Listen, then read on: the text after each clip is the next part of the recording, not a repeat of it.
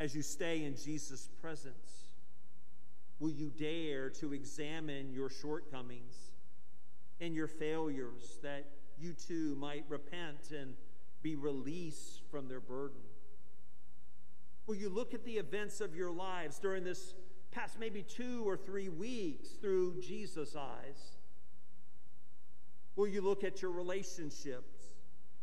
Where in anger have you thrown the stone? Or secretly delighted in the shortcomings and misfortunes of another? Or maybe where are you still bearing a grudge against someone who did you wrong?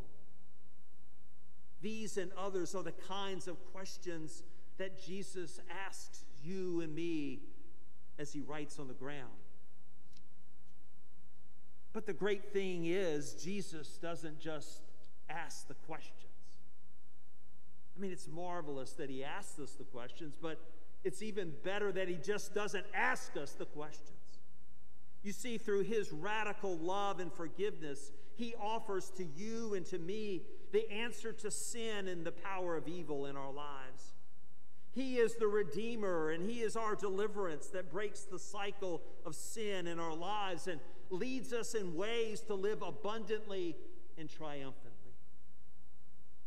He is the hope to break the chains of resentment and retaliation and violence and hostility.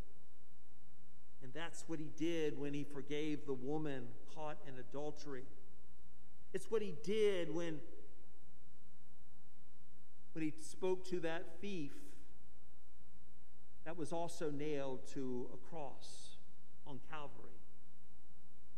And he told them, Today you will be with me in paradise. And it is what he can do for you and for me when we trust him and we allow him to let his love and forgiveness break the sin in our lives and help us to begin again.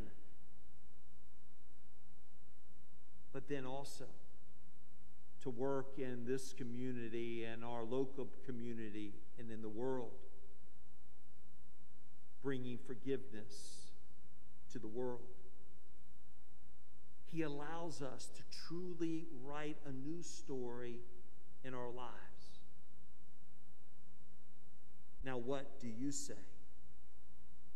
Today, will you begin to write the rest of your story with Jesus?